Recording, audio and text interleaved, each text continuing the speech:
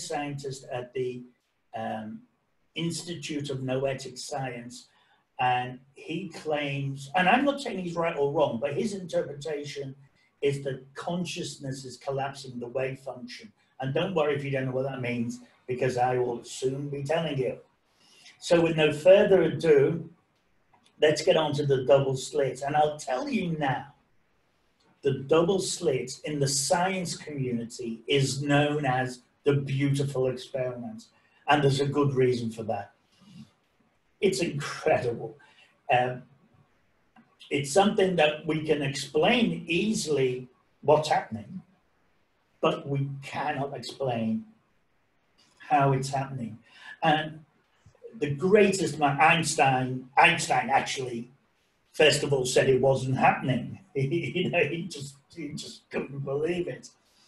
And modern theoretical scientists like Leonard Susskind, you know, one of the leading lights, he thinks that it's like a wormhole and to you know the Einstein-Rosen bridge, the bottom of wormholes colliding. It's crazy stuff. But I am going to talk about this on a. I'm just going to tell you what happens, and then we can discuss the interpretation. Now, the double slit, believe it or not, goes back to 1801 with a, a professor called Professor Thomas Young.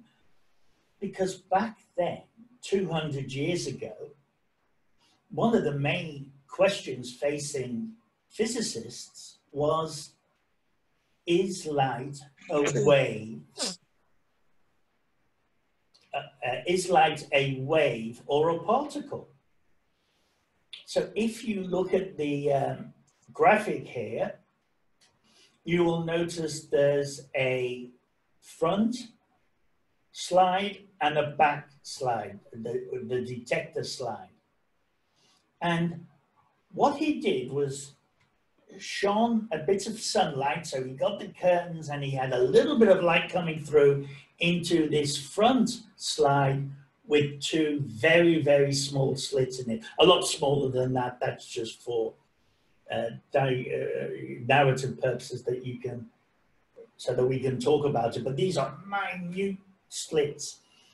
Because his thinking was, if we look at the detector board at the back, that's here, we will see a pattern. Now, if it's a if light is a wave, we will see an interference pattern. And I might just just annotate it to make sure you know where I am. But I'm talking about here at the back. And if you get a number of lines just coming from these two slits, it shows that light is acting like a wave. Just imagine physically in the Newtonian world, if we were pushing water through those two slits, the waves would interfere with themselves. And when they touched the back detector slide, they would touch them in different areas. Alternatively, if we had a machine gun and we were firing bullets into these two slits, we would expect to see just two vertical lines at the detector board. Now, it's very important you understand the detector board. If there's an interference pattern, like this one, many multiple lines, it means there's a wave happening. And if there's just two vertical lines, it means it's a particle happening. And that's very important to understand this. Now, in 1801, um, the wonderful Thomas Young said, oh, great, look, it's an interference pattern. Everybody, I've solved it. Light is a wave, just like sound. And he did a lab or two of the uh, laboratory and he was happy. And for 100 years, it was accepted science that light was a wave. Now, in 1912, uh, 1905 or 1912, I can't remember the actual year, but I put 1912 and it doesn't really matter. This man, who I think we all know, Albert Einstein, he did an experiment called the photoelectric effect. And incidentally, um, he got his um, Nobel Prize for the photoelectric effect. He didn't get it for the wonderful work he did on Brownian movement uh, motion, um, the uh, specific theory of relativity, and there was one other, escapes me now. And Einstein, just to tell you how wonderful he is, he did four accepted pivotal white papers in the one year, whereas most people will just do one in a lifetime. It was amazing. But the photoelectric effect proved, and I won't go into it because of time, proved that light was a particle. Now, Einstein said, hold on a minute, I'm not saying Thomas Young was wrong because I've checked it out and it's right. We've been checking it out for a hundred years. But it seems that light, which is a photon, so the empirical unit of light is actually one thing called a photon. Sometimes that photon is a wave, and sometimes it's a particle. And Einstein and the whole scientific community thought, well, what we don't understand what's happening. Then what happened uh, in about the 19 20s, 30s, we developed the technology to fire one photon at a time. Because what we wanted to do, we wanted to see what was happening with this, what was making it a wave and what was making it a particle, and what was this strange wave duality. And then what happened was an amazing thing when we fired electrons through the double slit into the, and I'll put the annotations back on. Oops.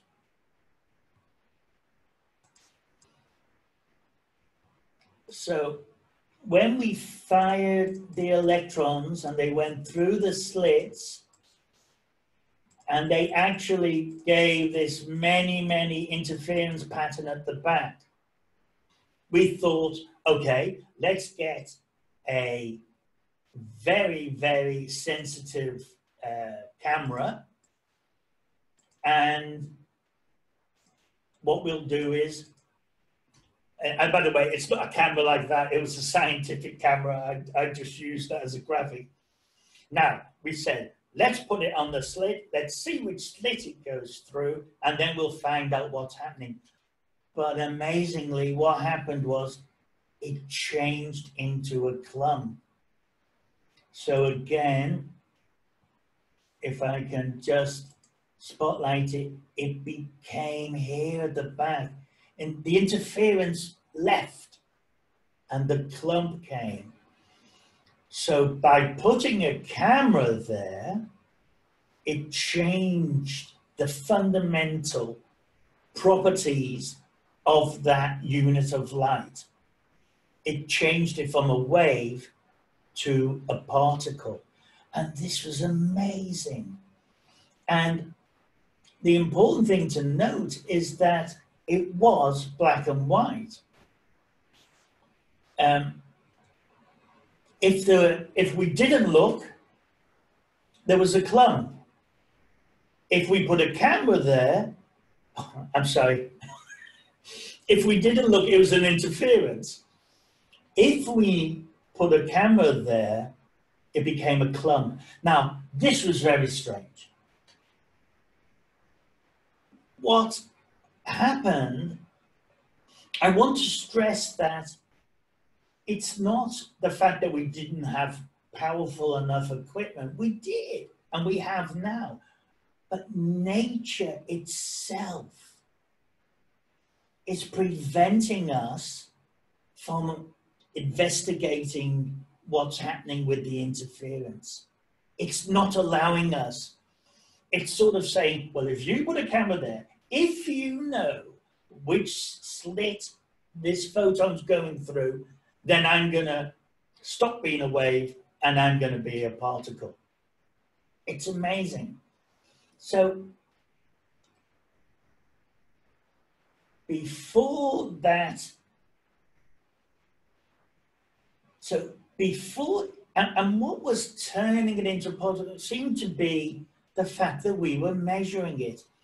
And this is called the observer effect. Now let's get one thing straight away. Observer's the wrong word, measuring's the wrong word. We don't have the right word because we don't live in the quantum uh, realm. We're not used to what the right word is, but somehow we'll carry on calling it measurement. Somehow, when we try to measure the wave to find out what's happening, it becomes a particle. So this particle, before it's measured, is said to be in superposition. It is actually in many states at the same time. And amazingly, we can actually, um, um, even though we don't understand what's happening, we can actually reference and map to these imaginary states using imaginary and complex numbers. Um, we've written an equation called Schrodinger's equation that will actually take the wave over time, and we've actually got, we can tell the probability of each little stage of the wave function. It's called Born's rule, and we can work out the probability of collapse there. It's the for you guys in on the Qiskit course, um, that Born's rule is that the probability of psi is the complex uh, amplitude coefficient, the absolute value of the uh, complex amplitude coefficient squared. So, I mean, it's just amazing and the observer effect. So if we're looking, if we have a camera there, it collapses the wave function. And for those of you new to the sector, remember that phrase, collapsing the wave function, because that's what it's all about. I say that's what it's all about, but I think this is even more important. And the lovely guy here is, um, uh, I'll put, um, I'll do annotations again just so that you can see where my mouse is going. But this is uh, John von Neumann, one of the greatest um, theoretical physicists of all time, way up there, possibly beyond Einstein. You know, it's like comparing Lennon and McCartney. But uh, von Neumann was interested in the measurement problem. Where is the measurement. So if we put a camera and if we look at the wave and change it into a particle, where is that happening? Is it happening at the measuring equipment here? Or is it happening on the plates where it's being recorded at the back screen? Is it in the eyes of the observer? Is it in the mind of the observer? And then after this, is it in the consciousness of the observer? Now, nobody knows. So again, we get back to these interpretations, but the experiments I'm going to talk about in a minute, uh, the delayed choice and Wigner's friend will address this issue. But I want you to know what von Neumann said. And I might add, he um, the big heavyweights of quantum physics, Niels Bohr, Paul Dirac, uh, um, uh, the, the um, Schrodinger, uh, Born, Max Born, all these people agreed with what I'm about to tell you von Neumann said. He said, it's only when the interaction, the observing, the measurement, let's call it, reaches what he called an extra physical entity, which is consciousness. He was saying, like I said to you before, we're all quantum objects. We're all made of quantum objects. So when you have two quantum objects, um, the wave function and the camera, there's no measurement. Then another, then an observer and the wave function, there's again both quantum objects, there's no collapse. Again with the eyes, and we can show it with the eyes because if you had a five year old looking down the camera lens, not aware of what's happening, it wouldn't collapse the wave function. It would remain as a wave. So it's not in the eyes, because that's a quantum object. It's not in the brain, because that's a quantum object. It's actually not in the mind, because that's part, that's a, still a quantum object. But consciousness is not a quantum object. And von Neumann was saying when the wave function meets consciousness, a non-quantum object, it collapses. And that's amazing. Um,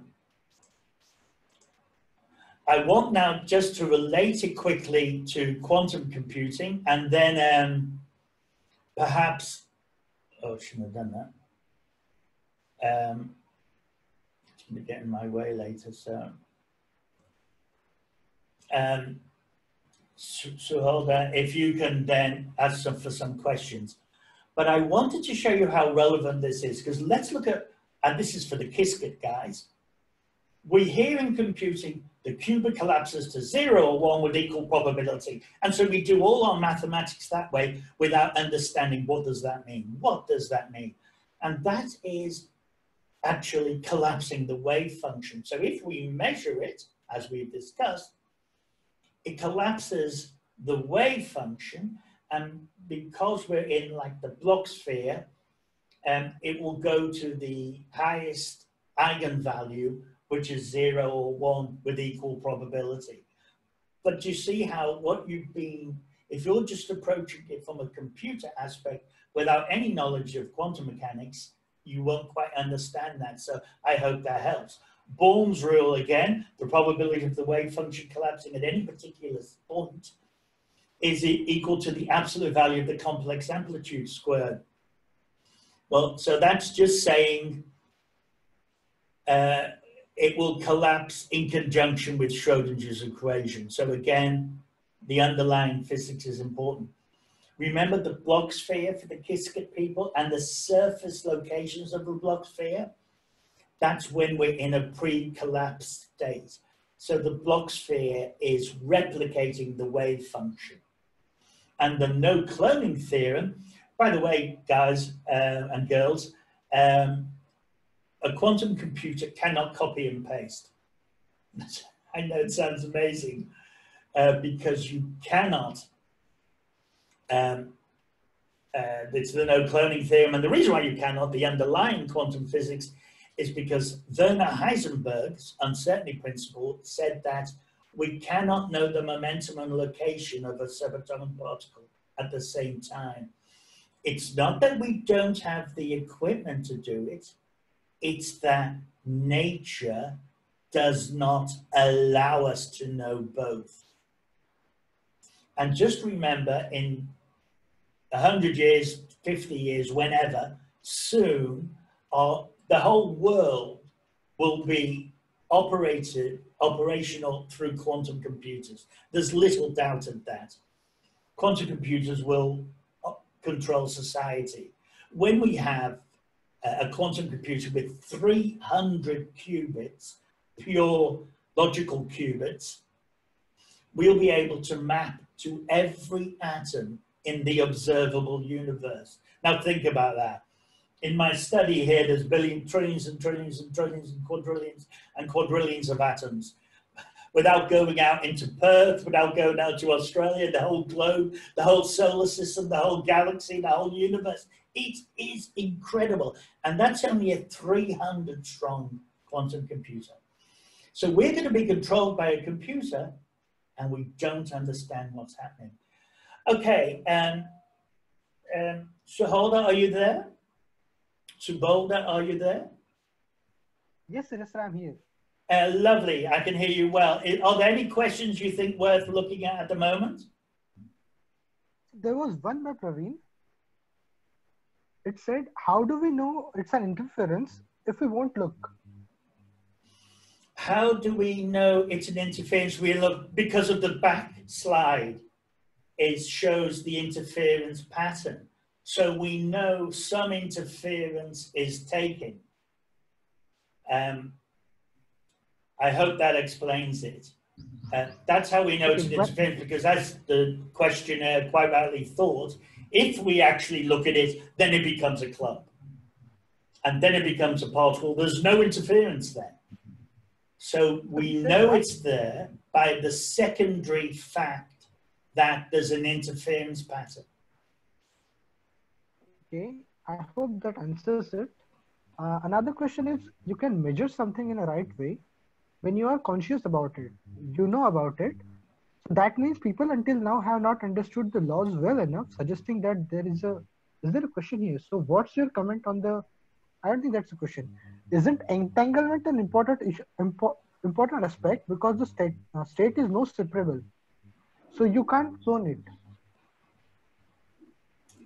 okay, I'm, I'm not a thousand percent with the question, but I, I, obviously entanglement's an exceptionally important point, which I'll, I will mention when we go get onto this delayed choice. Uh, what, what was the beginning? Because I was going to make a comment on that. It's better just Subodh, Subodh speak because if you try, if too many people try and speak, I can't hear. Subodh, just repeat the beginning of that question uh, those were the two separate questions.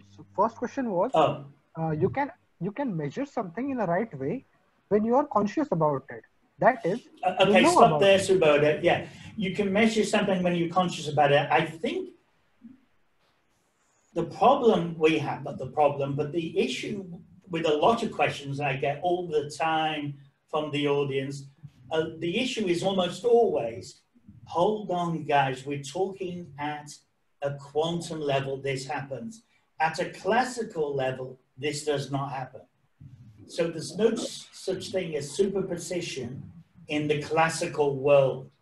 So, so consciousness, which we don't understand, we know we don't understand it. And in fact, Radin experiments, this is the whole point.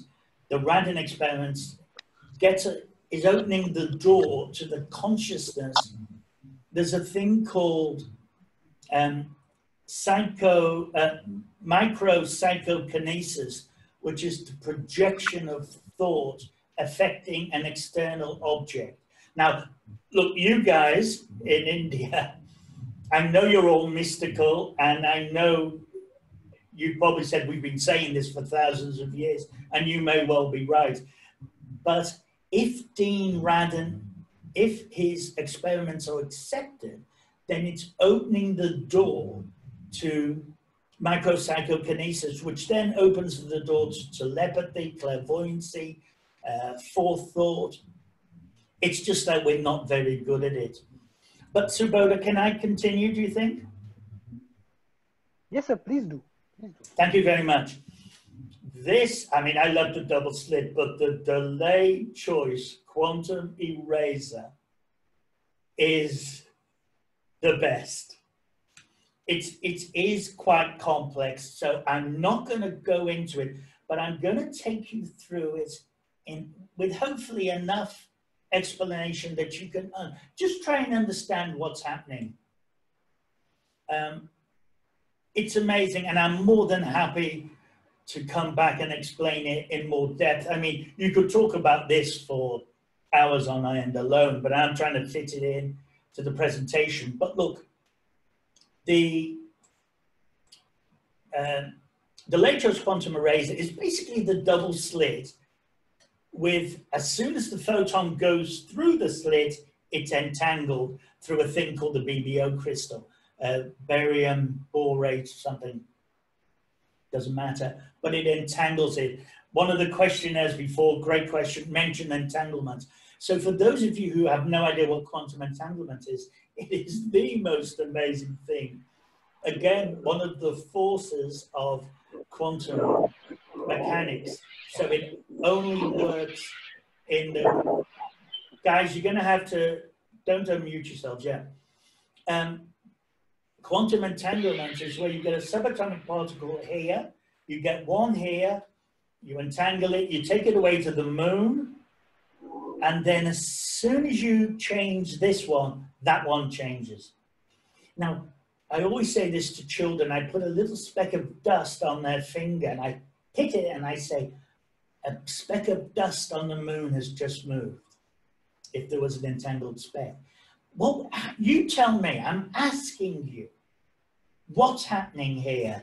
That's something a million, million, million, million times smaller than a speck of dust knows when something in the moon, and actually it's something at the other end of the universe, we think. The furthest it's ever been done was last October with, by the Chinese with the Micius um, orbit, space or spacecraft orbiter around Earth. So they they actually did it's quantum teleportation. I, I'm not going to discuss that today, and we did a bit of it in Pisces. But a, um, a, an entanglement was proven between a subatomic particle in a laboratory in China and on the spacecraft orbiting the Earth. And immediately, instantaneously, they come, you know, they both change. How does the one on the moon know that this speck of dust has just changed? We don't know. Einstein famously called it spooky action at a distance, and he claimed it uh, it never worked. There was a hidden variable. We have now, through great work by the Irishman, and by the way, guys, I'm not Australian, I'm English, and my parents are Irish, so I love Ireland. And the very, very clever Irish physicist, John Bell, proved it mathematically that quantum entanglement was real and was happening. It wasn't just, Einstein was suggesting it's like having a left shoe and a right shoe here. And if you take the right shoe and put it on the moon, as soon as you know you've got a left shoe, then the you know that the one on the moon is the right shoe. But he was proven wrong, and the delayed choice proves him wrong too. That was a long-winded way but it was important so that you know about two phenomena now superpositioning, where this wave of probability changes into a collapses into a particle at superposition, and then entanglement, where this non-local is the important thing. And Einstein didn't like it because it happens instantaneous. So something's happening faster than the speed of light which disproves general relativity, Einstein's other wonderful, wonderful uh, work, which I've got a um, video on on QUECWA. But so it's amazing. But the double slit combines both of them. Now, what does it prove? The double, uh, the delayed choice quantum eraser shows that just by knowing the which way path of the photon, it, it collapses the wave function. Now that's important because people were saying, well, when you measure it, the measuring device sends a photon and then if it hits something, you, you know, um, that's how you make a measurement by, by interacting with whatever's happening. So maybe this, is, I mean, it didn't explain why it would go from an interference to a clump, but it was strange. So the DCQE proves that, oh no, wait a minute, don't bother doing a measuring. No measuring equipment, throw the cameras out. If I'll prove to you that if you know where it's come from, which slit it went through, the, it's called the which way. When you know the which way, it will collapse the wave function. And obviously you have to be conscious. You have to consciously understand the which way. And then, this is amazing. Listen to me, and you're not going to believe this. The delayed choice quantum eraser shows us that can you must don't unmute yourself, guys. Stay on mute. Um, the DCQ, and by the way, when I say guys, I mean guys and girls as well. The delayed choice quantum eraser proves that events that have already happened can be altered. time does not exist in the quantum realm. And that's important. I always say quantum mechanics is a mystical combination of almost all of these sciences, including metaphysics, um, philosophy, theology, epistemology, cosmology, and, and, and quantum science. It blends it all in together and it's very interesting and exciting. And the amazing thing is that we can build computers out of it. But is that or is that unbelievable that events that have already happened? And I'm going to prove it to you now. Events that have already happened can be altered. Now, there's just a little bit of equipment you need to know. Um, look at the time. Um, you've got the, oh, we're going okay for time. It's only 512. Um, I'm only going to mention four pieces of equipment, so it's not difficult. You've got the BBO crystal, and what this does is entangle one photon into two, a pair of entangled photons. It's uh, a well-known scientific fact. If you uh, get one photon coming in and it hits the BBO, it becomes two entangled photons. A prism, that's just a way of directing the photon. And then a beam splitter, this is worth noting. A beam splitter is an amazing little piece of uh, uh, it's like half a mirror. What it does is it has a 50-50% chance when the photon comes that it will bounce off, it will be reflected, or and a 50% chance that it will go through. And that happens uh, extremely reliably, regularly, and we can't tell why it does it. Just sometimes Half the time it goes through and half the time it bounces back. And then we have our detector boards. I love all these questions in the chat room. I'm sorry I can't look at them. um, right, now here we go. This is the delayed choice. So I'm going to start off by showing you the equipment. So, look, it looks it looks extremely complex, but it isn't that much. We spoke before about the BBO crystal. Well, here's the BBO crystal. This thing here.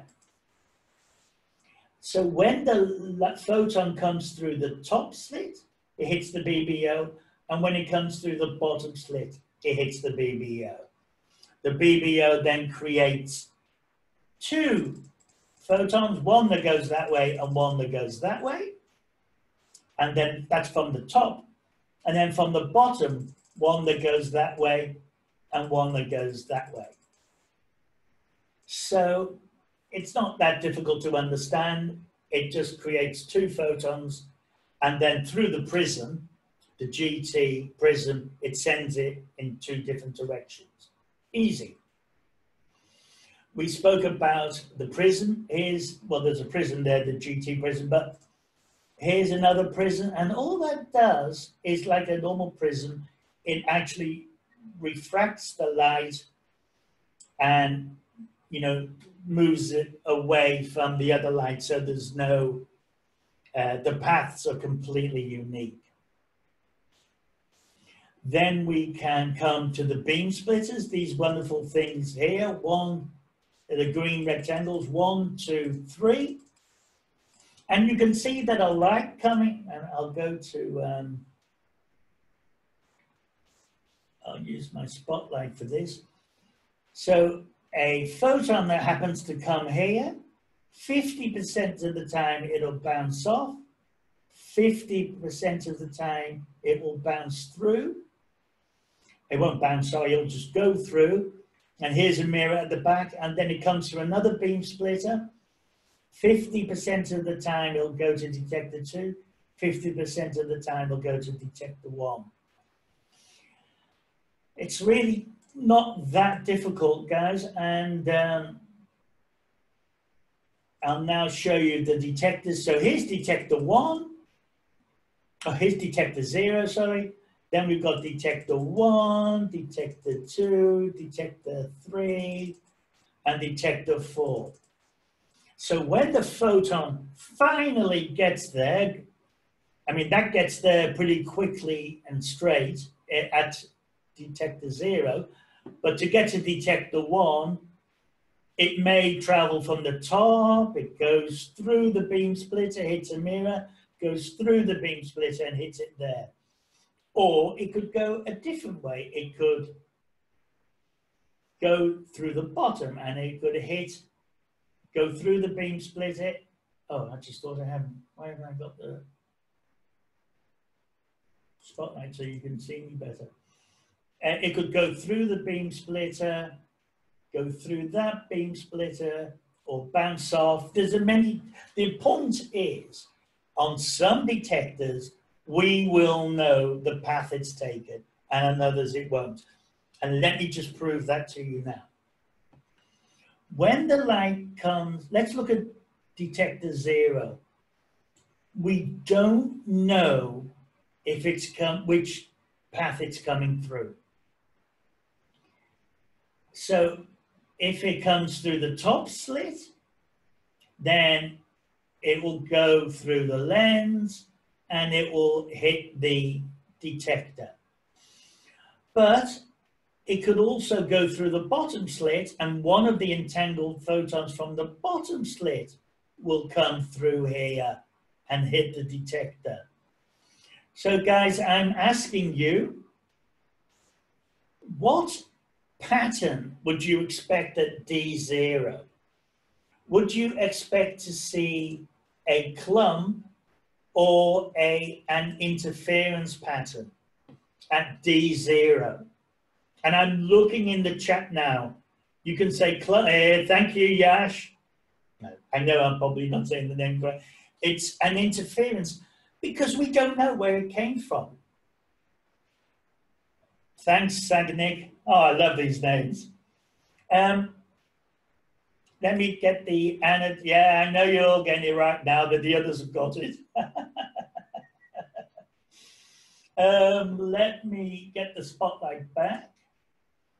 Now, so D0 and um, a few of the others, you, you know, uh, D1, we don't know where it's coming. But look, let's look at D3. Now D3 can only come from the bottom slit. Half the time it will bounce here, but if the photon gets to D3, we know without a doubt which slit it went through. We know the which way. And so I'm now asking you, what pattern would you expect to see at D3? Yes, thank you, Anuriz. Thank you, Bhavan, Samarpan, Akash. On and on. It's a clump pattern. And that is what happens. And it happens every time. Now, that's unbelievable because the only difference between those two photons is that in one case, we know where it's gone, which, slit it went through, and in the other, we didn't. And by bouncing it off the beam splitters and going through, you know, it's, uh, thanks guys. It's amazing that by doing that, by losing the which way, we erasing our knowledge of it, changes the fundamental nature of it. Um, I hope you find that amazing. and now I'm going to tell you something even more amazing. We will look at D0 and compare it to D1 and D3. Now, when the entangled pair, when so the first entanglement gets to D0. Now the important thing is it gets to D0 first before it gets to any other detector. And we've already agreed that there should be an interference pattern here because we don't know which way it went. But its entangled partner is going on a longer journey. It's going through the prism. It may or may not, uh, let's assume D1. Actually, let's not assume D1. Let's assume D4. It'll take it a bit longer and it'll get to the beam splitter. Now, it could go through or it could reflect. In this case, it's reflected to D4. Now, if it hits D4, it's hitting D4 after the other entangled photon has hit D0. And remember, the entangled photons have to be the same. But the bottom one hits D4 and we know which way it's come, so it's a clump. Amazingly, a clump will show at D0. The and now don't worry if you're not totally with that, but don't forget one's taking longer. It's going through beam splitters, 50-50 which way it's going to go. But the one that's already reached there will show the pattern that eventually happens to its entangled partner, even though we don't know what that pattern will be. But 100% of the time, if it's a clump, then D0 will show a clump. Now, again, it's how we interpret this. This happens, and it happens all the time. Why it's happening, we don't know, but we certainly think there's a case to say that somehow this thing, a million, million, million, million times smaller than a speck of dust, knows what's going to eventually happen to its entangled partner through the beam splitters. And I think, guys, you'll agree that is amazing. Now, I know you have loads of questions. I'm going to very quickly say that John Wheeler said that the same thing applies if it's a photon coming from a distant quasar. It may have traveled billions and billions of years as a wave, but how we measure it today i.e., whether we look at it at a telescope and we know where it's come, where which quasar it's come from, then it will it will be a particle. If we look through, let's say, an interferometer, I can't go into what that is at the moment, but if if it's looked at and, and an interferometer, then we don't know which way it's taken. So there's an interference pattern. So what we're saying, what John Wheeler, and this is a Gedanken, a thought experiment the rest happens in a laboratory. This is just a thought. With a lot of credence, I may add, that the photon may have ostensibly traveled for 10 billion years as a wave function. But if we look at it through a telescope and know where it's come from, we know the which way, then it becomes a clump, a, a particle, and has always been a particle the whole of 10 billion years has been rewritten. That's amazing. That's, so, Subodha, I might have time for one question, but I'm just conscious of time.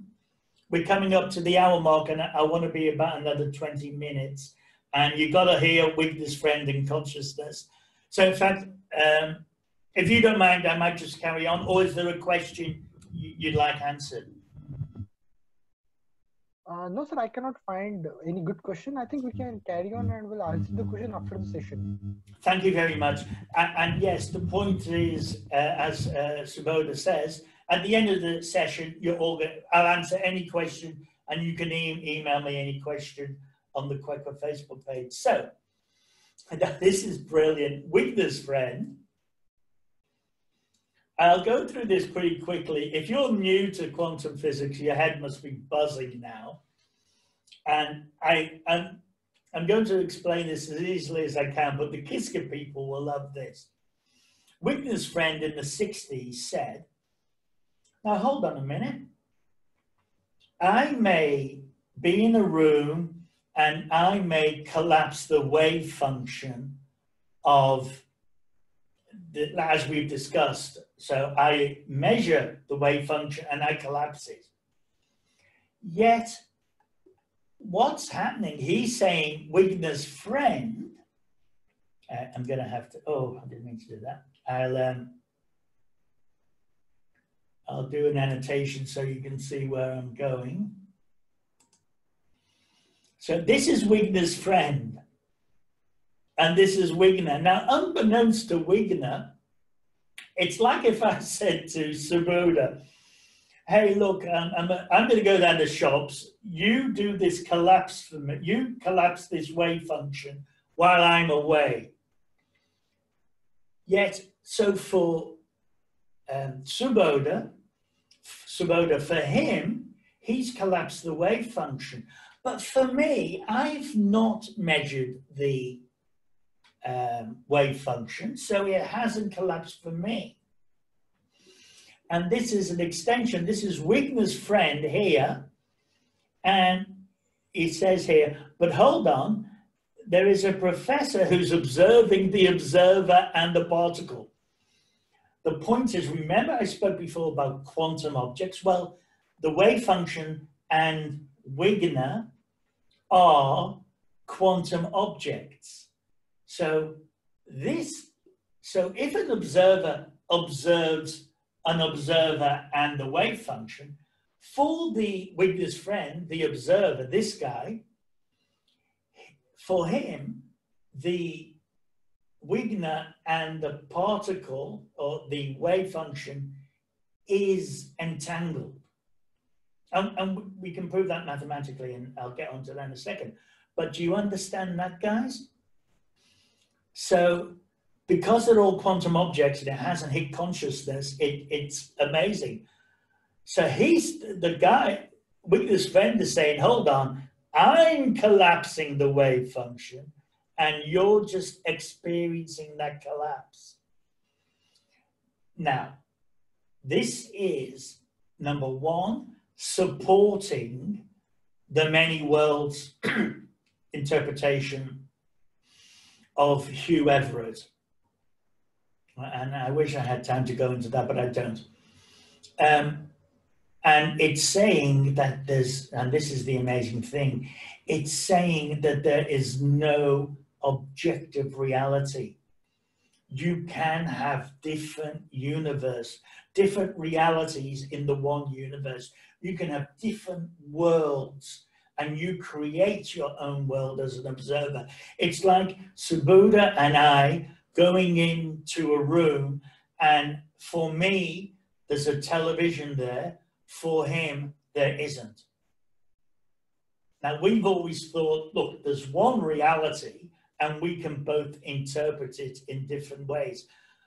But this experiment I'm about to introduce you to now and, and by the way, I've got all the links and everything on the slides, so you, can check this out.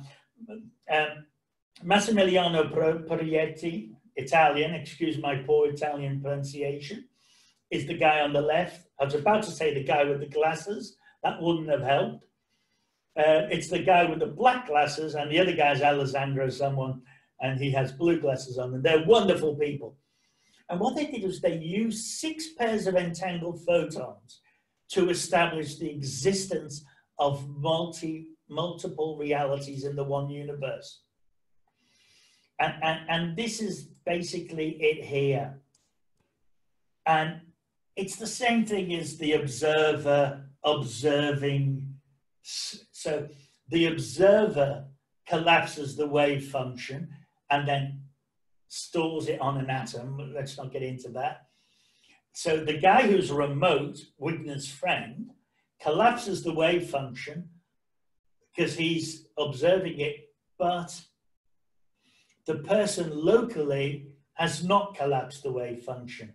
So is that wave function a wave function or a collapsed particle? And it's both according to Massimiliano. Again, I, I'm not saying this is the reality at, at this stage. The double slit, the um, quant, delayed choice quantum eraser, they're facts, they happen. you you can work you can try and work out what's going on. This is a Gedanken, Wigner's friend, but this experiment that only happened last year happens. So now how are you going to interpret that? Massimiliano and Alessandra say there can be objective reality doesn't exist. There are there can be many, many, many, many realities. And even more than that, we create our own reality. And I know in the mystical world, you guys will have something to say about that. Again, I want to stress this happens in the quantum world, no question. We're beginning to entangle billions and billions of atoms together now, and they're classical. Um, the, you know, you've got fermions and hadrons, um, and the Large Hadron Collider and CERN, but we can't have time for that. Ah, I'm going to very quickly, and this is the most important thing. It's 5.32, I'm going to take 10 minutes, and they will have questions. The Radin experiments, I hate to rush this. Um, Professor Radin there, he is a hero, honestly, he's a hero. Because he said, remember before I said an animal can't collapse the wave function, a five-year-old boy can't collapse the wave function, but somebody consciously knowing what's happening can. And Radin said, look, everybody's saying it's consciousness. It, there's obviously consciousness. I'm going to prove it. And this is what he did for, for uh, I know you. Great comment, everybody. I, I, I, have to, I can't get into conversations at the moment. I'm sure you understand. Uh, I've been following this guy since 2012, and what he did, and I'm going to do this very quickly, he set out to prove that consciousness collapsed the wave function. What he did was then get a team, probably from India, Tibet was involved, I know that, of transcendental meditators, people who were in touch with their consciousness. So he had the double slit set up, he had them in the room, and they could try and imagine the photon going through one of the slits. So they were told, think 10 seconds, stop thinking, relax. And during those 10 seconds, they would consciously try to collapse the wave function. And you are going to love this, but the transcendental meditators, according to Radin, were significantly better than ordinary people. He then tried it in different rooms. They were still significantly better. And then he went to different countries. So over the internet, you had somebody, you know, 40,000 kilometers away um, over the internet trying to collapse the wave function. Now, here's an amazing fact. Fact according to Radin, statistic, if you like, whatever you want to say, but he has 80 gigabytes proven this stuff. And he's proven it to four sigma, which is higher than the proof that was given for the Higgs boson he always jokes that they got a Nobel Prize and he's still waiting for his. Um, so, and the results have been replicated by different teams doing his experiments. Not conclusive, but it doesn't matter. Let me just say, over the internet, what they did was, and you clever guys in uh, India will know this, uh, Linux. He set up a open source simulation of the results so they would be on the internet, a red light would come on, they'd think, and then the green, or the green light would come on, sorry, and they'd think, and then the red light would come on and they'd relax. Now, that information is obviously sent as data over the internet. And amazingly, this little thing, a billion, billion, billion times smaller than a speck of dust, seemingly could tell whether there was actually a human being or a Linux simulation going on. That's unbelievable and leans towards it being a consciousness that's doing this. Now, not everybody, it, it's not science. Um, Dean Radin says, What do I have to do to get you guys to believe me? But, and, and look how recent this was. Just a year ago, Walleczek and von Stillfried said, No, Dean, we don't believe you. We think your experiment, your, your experiments are biased. We think there's a false positive effect. There was a very famous science experiment where the people could show and prove that neutrinos were going faster than light. It's called the OPERA, if you want to look it up. The OPERA experiment, O-P-E-R-A. And what happened was, three years later, they proved that no, no, there's a false positive effect going on. That is, when you know and want a result to happen, you will unconsciously be biased. And that's the best I can do to explain that. Here's the research references, the YouTube videos I recommend, the, the Walleczek and von Stillfried rebuttal, so it's still rebutted. I might add, uh, Professor Radin has rebutted their rebuttal. So uh, it's a bit of stalemate at the moment, but uh, things will happen. And this is a lovely YouTube explaining Wigner's friend, and here's the papers, uh, the white papers from Massimiliano Proietti. And that, ladies and gentlemen, is the end of the course. Um, why am I not coming up here? Um, are you there, Sabuda? Yes, I'm there. I'm here. You're a wonderful man. You're always there. Now, I'm, that's the end of the presentation. I'm not sure why. Oh, you can see my. Uh, yeah, I am here. I was wondering why I wasn't here. Um, okay, I'm ready for questions if you want to arrange that, Sabuda. Hello, Minati Rath. Oh, that's a lovely thing to say. Thank you. Thank you, thank you, thank you, thank you. Thank you, Sagni. I'm saying that right. thank you. But if any of you have a question, I can answer it now. You've been very patient. After all, you've been so busy, but it's it's been uh, an hour and 10 minutes, so that's not too bad. Um, sorry, there was a question. Well, Sabuda, do you want to ask? There was a nice question there, but I, oh my God, it's going too quickly.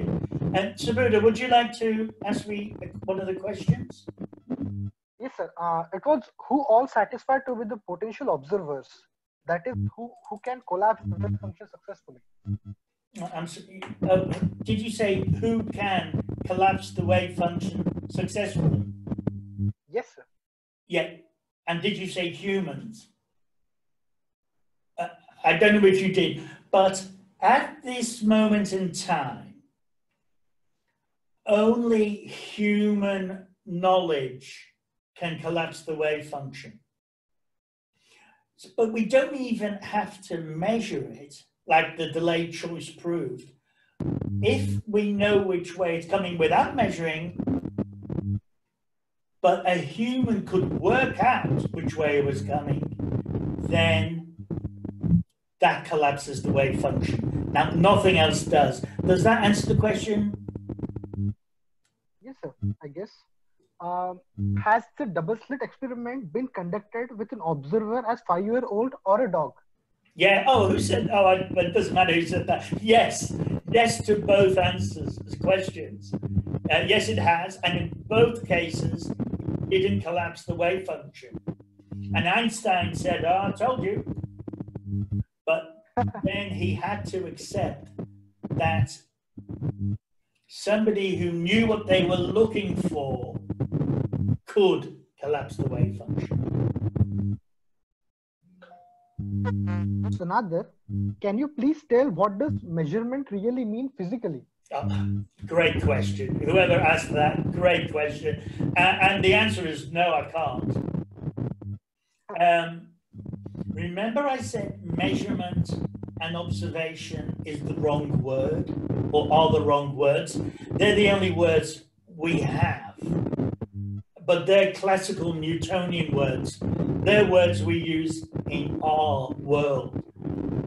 But in the quantum world, measurement and observation are the wrong words to collapse a wave function. Measurement is only the nearest word we can get to. I might add, we can mathematically represent it, and we do so with, um, um, oh, you know, with the Born's rule and uh, the Schrodinger equation will, will plot the whole wave function. So we understand it very well, but uh, yet we don't know. You tell me, why does it not collapse when the five-year-old's looking at it? And if you remember what I was talking about with um, von Neumann, he's saying it won't collapse when any human is looking at it, or any measuring machine, or any dog, cat, anything. It will collapse when an extra physical object, not a quantum object, because that just entangles the two quantum objects entangle. But at the end of the chain, the von Neumann chain, it's called, um, there must be an extra physical. Now, you can call that what you want. It can be consciousness, it can be metaphysics, it can be mysticism. It's something that is wrapped up in the human, but not under our control. And the question is, does is consciousness a function of the brain? Or did, is consciousness external that we tap into? And I know a lot of the mystical people there will be thinking it's something we tap into. And I, I don't know, and no one knows. Okay, sir, we have one question from your earlier slides. Yeah. Uh, we have measured or know that D0 produces interference pattern and the other interference particles. Um, sorry, um, Subhuda, you're cracking up a bit. And can everybody make sure that they don't mute themselves? Um, can you say that question again? There's a lot of interference, but say it again, Subhuda. We have already measured or know that D0 produces the interference pattern the other rectangle particles reaches at later time. So how can the interference pattern get changed to a clump? How can the interference pattern what? I will just uh, copy paste the question again. You can see it in the chat. Uh, that's that's a great idea, and I do apologize for my. Uh, there's interference. It's a good question because I very quickly saw that question and I liked it. Sorry, Madhu. I didn't mean to ignore your question. Oh, I, I ignored it. I guess I am. I have to look at. Oh, it. yeah, yeah, I'll play. I'll play uh, Subhuda for everything. That's the question again. I'm missing it. Oh, you can't find it. Uh, okay. Look, I, I can't. I think I know what the question probably was anyway. Um, look, mm-hmm. we don't know how D zero knows that it's got to be a clump or a interference pattern.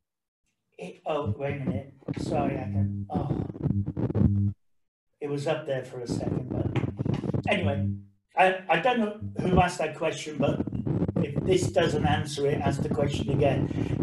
We don't know. How does D zero know what the pattern, what's going to happen to its entangled brother? But it does. And it does it every time. It will be a clump or an interference. Technically, it should be an interference, agreed. But if its entangled photon goes to some detector, I can't remember the number, D3, I think, where we know where it's come from, somehow D0 will be a clump. I hope that answers the question.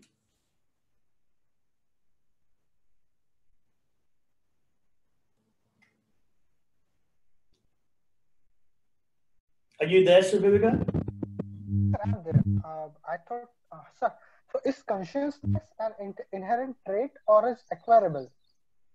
Ah, yeah. Um, I'm not the one to answer that question. In fact, your eminent meditators over there would answer that question a lot better than me.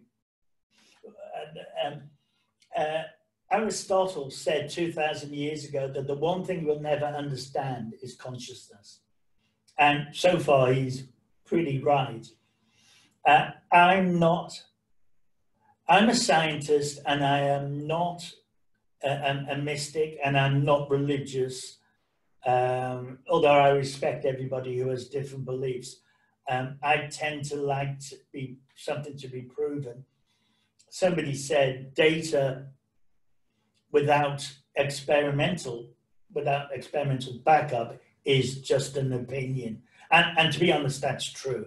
It's just a pretty, pretty story unless you can back it up with science. That's my take up on it all. Um, so, can you acquire consciousness? Yeah, I, I'm not. I'm honestly not the one to answer that. But you're all entitled to your own opinion. That's for sure. Thanks, Michael. You're probably right. Oh, who's who said that? Somebody, I can't see your name. Someone has said no offense, but that seems pseudoscience. I, I'm with you. It's okay. I'm not taking any offense whatsoever. It does sound like pseudoscience. But what I'm telling you, whatever your name was, um, is that this happens. Again, the one thing I'd like to convey is that this happens. So now you can start interpreting it and saying what's really happening. So it's not pseudoscience. The delayed choice quantum eraser experiment is not pseudoscience. It happens, it's, re- it's repeatable, it's happened hundreds of thousands of times, it's never ever failed. So the fact that an event that's already happened can be um, altered, that may not be the correct interpretation, but that looks as though that's what's happening. Now you're calling it, and by the way, I'm not offended at all, and it's good of you to say it. I'm glad you did because it got me to, to rant on about this. It's not pseudoscience to say something crazy because the delayed choice quantum eraser experiment is crazy. So it's so it's got a crazy answer. And listen, everybody, we're in the quantum realm here, and crazy things happen. So I'm not going to um, say I don't believe your interpretation because it's crazy. It's like the many worlds interpretation. And that is that the wave function collapses for you with your interaction with the wave function. But for someone else, uh, it hasn't collapsed. And therefore, there are many, many, many, many different realities. Uh, and, and then you can just think of the astronomical number that it could be. Now, when Hugh Everett first said this in the mid 60s, he was laughed at, he was scorned. But I'm telling you now, Sean Carroll, uh, the leading physicist possibly in the world, um, Leonard Susskind, believe in Ford, I believe, and someone else who's, oh, I can't remember, and I don't want to say, but someone else who's really clever now believes in the many worlds interpretation. And I can talk later on the different interpretations. The Copenhagen interpretation is what we've discussed, the many worlds theory uh, interpretation, QBism, the Bohm pilot wave. There's many interpretations of what's going on, but it's not pseudoscience to start saying that the answer is consciousness. Thank you for that statement. So Back to you, Saboda.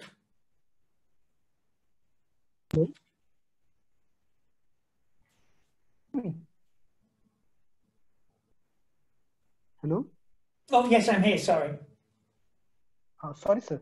So one more question just came up. Uh, yeah. How would you define consciousness? Or like uh, it's so basically it's knowing something in this case the results it's consciousness. How would you define it? Uh, again honestly that's not a question for me to answer. That's a, a, um, a metaphysical question um, i don't know what consciousness is and i'm not even saying consciousness is collapsing the wave function dean radin is and i tell you this i he's got a point.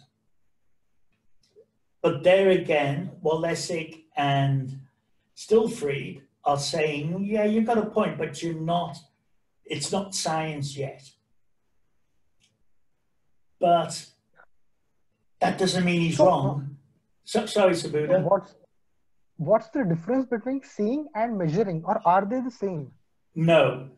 And again, I will say again, you've got observer, the observer effect is what it's all called.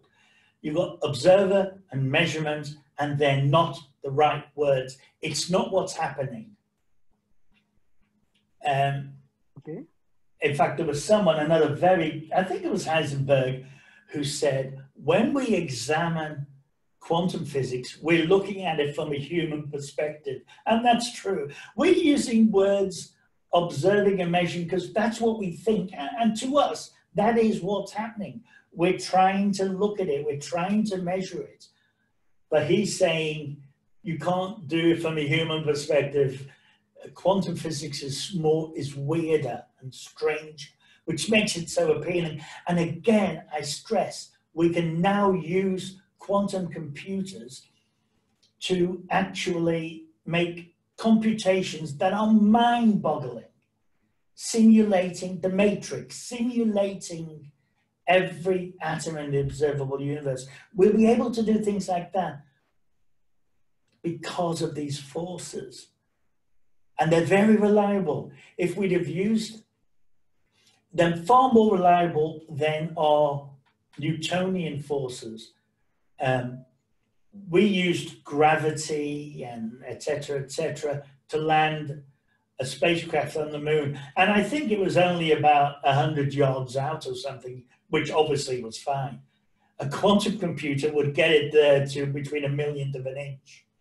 So it's it's far more reliable, far more accurate, far more reproducible. The equations stack up. Even Born's rule how, how can we know, looking at a wave function, how can we say, yeah, the coefficient, the absolute value of the coefficient, if you square it, that's the probability.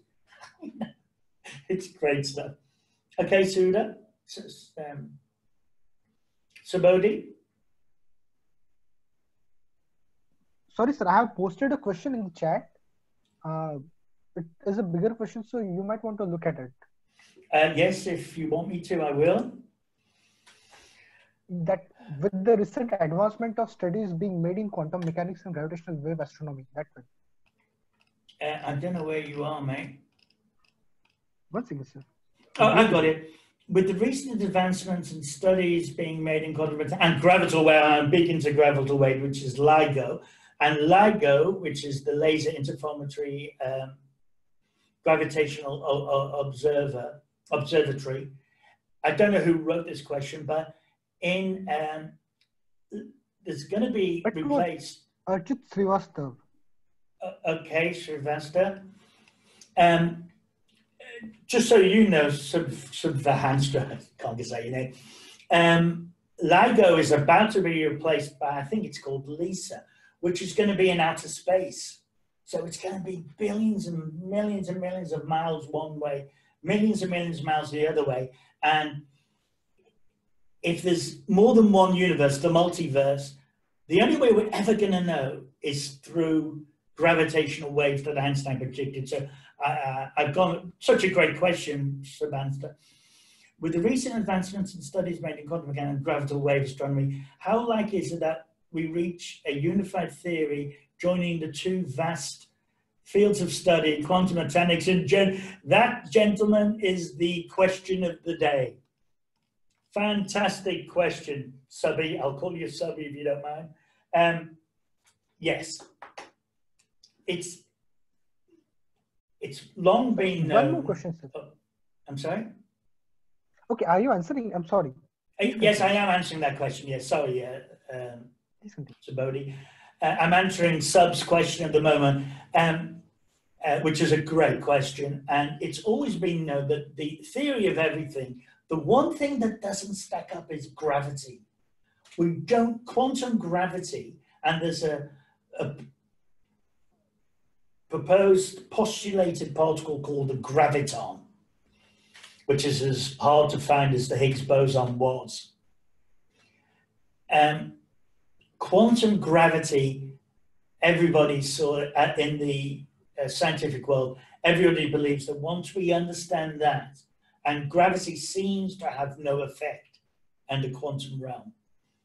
But if we can get a theory of quantum gravity, we believe it will unite all of the disciplines, the very, very large and the very, very small. Let's keep in touch on, on, on that fact. And Subodha?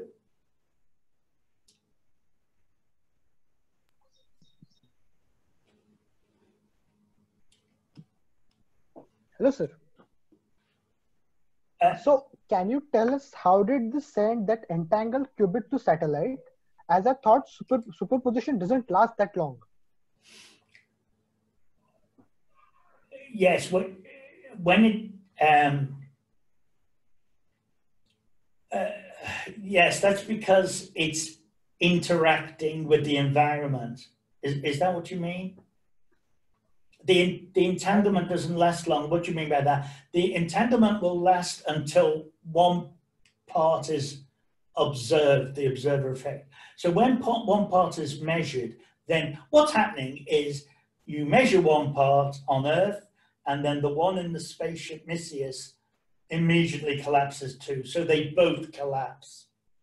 And depending on the phase, they'll both be the same or opposite, but they'll both collapse instantaneously. But that's collapsing. That's not the same as decoherence or noise. Noise is just the um, noise actually doesn't affect the result, I might add. It just makes it harder for us at this moment in time to find out what's going on. So you could you could have a very, very noisy qubit, and at the end of the day, it will reach the right um, theoretical quantum answer. I don't know whether I explained that well, but um, yeah. So next question. Another great question, sir. We have uh, the consciousness is mentioned to be the reality which is beyond matter. We also ca- we also say that there are quantum effects inside brain which create consciousness. So is cosmic consciousness more related to quantum phenomena? Don't know. Don't know. if you guys thought you were going to come here and I was going to answer every question, oh, and by the way, when I say I don't know, what I mean is nobody knows. And I don't mean that in a bad way either. I just mean scientists say we don't know. We don't. Um, I get most of you guys will know who Roger Penrose is. Roger Penrose worked with Stephen Hawking. Oh God! And then the other guy's called Stuart. Someone I can't remember his name now. Maybe somebody could put it in the chat. Begins with an A. Anyway, Roger Penrose. So I mean, this is a one of the most intelligent guys ever lived. He believes consciousness resides in a structure we have in the brain, in our um, DNA, it's in our um, mitochondria, and well, it's not in the mitochondria, so it's separate to the mitochondria, but it's what's called a microtubule. You might want to look that up. M I C R O T U B U L E, the microtubule. Now, it's been long known in biology, which is what Stuart begins with an H now that I think. Stuart Hammersmith or something. Um, he's a great quantum physicist, but he's, he's more a bio, biologist. And he says we have this thing in everybody's brain uh, called the if, called the microtubule, and it it doesn't seem to do anything. But the older we get, it seems that proteins run along it, rather like um, oh, there's some other, uh, I can't remember, there's some other bridge that proteins go from one part of your mitochondria to the other. Or the cell, I can't quite remember. I've studied this. Stuart, Stuart Hameroff, H-A-M-M-E-R-O-F-F, something very close to that. Anyway, Roger Penrose and Stuart Hameroff really believe that consciousness exists in the brain, in the microtubule. Now, if that is true, then it is quantum effects happening in the brain causing consciousness. But but we really don't know. And to be honest, I'll give you my opinion. I'm surprised, and other scientists have said this, that Roger Penrose is so adamant that it's in the microtubule because I, I don't go for it, but you know, who am I? And yes, it's um, it could be, but whoever said that, good question. I've got one here from Shrishti, and she's, we should, uh, Subodha, I'm sure you'd like to thank a few people. Certainly we should thank Shrishti Singh, who really helped organize this. In fact, it was Shrishti, if I remember rightly, who invited me into the group, so I'm indebted to her. My question is, if nature is stopping us from knowing, good point, Shouldn't we stop understanding it as the results can be catastrophic if we finally understand it? I'm not going to disagree with you, Shrishti, because one, because you're a violent woman, and two, because we don't know. You're sort of saying, well, my own answer to that is no. We should always, always learn what's really, really happening. I don't believe there's something that we're not supposed to know, but I'm not disagreeing with you. You could well be right. Um, in which case, I, it is dangerous to know what's going on. And it is amazing that nature's stopping us. And ostensibly, nature is deliberately stopping us. Back to you, Subodha. Ah, I was saving the thanking for the vote of thanks session. yeah, I, am so sorry. I'm, I too, sir, I too am very grateful for Shrishti for giving me this opportunity. Yeah, and I don't know his name, Sai Pen. Is it Bravish or something? Anyway, you, you'll do all the thanking. Yes, sir, I will do that. No problems. Is there any any questions left? Please raise your hands or do something. I don't think so. Nobody's replying. Excellent. Well, look, it's been a long, long session, and um, I'll pass it over to you, Subodhi. Uh, so I have some. Okay, no, no issues. Okay, thank you so much, sir. It was a wonderful session, and I would, uh, from whole Indian community and everyone present in the chat in the live sessions, I would, I would sincerely like to provide my thanks to you and similarly, thank you to Shrishti and Saipen as well. I don't know who Saipen is, but I'm thanking to him as well.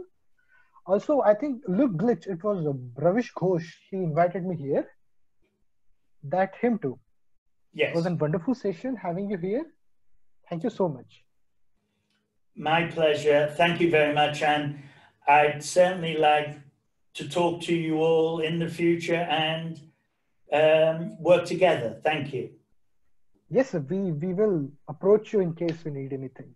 Please do. Yes, sir. Okay, I'll, I'll end it now. Yes, sir. Why not? Sure. Thank you.